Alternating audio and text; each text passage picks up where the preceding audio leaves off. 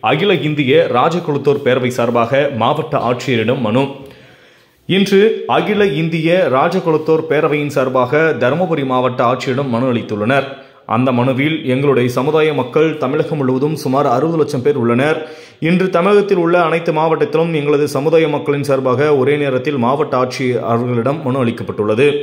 எங்கள் ஜாதியின் பெயரை வண்ணார் என்பதை தொழில் பெயரோடு இணைத்து களங்கம் விளைவிக்கும் வகையில் வண்ணமாக அழைப்பது தவறு என்னையும் மேலும் தொழில் வேறு ஜாதி வேறு என்ற அடிப்படையில் அது மட்டும் இல்லாமல் எங்களது முன்னோர் பலர் பலர் பகுதிகளில் ஆட்சி செய்த வரலாறு உண்டு.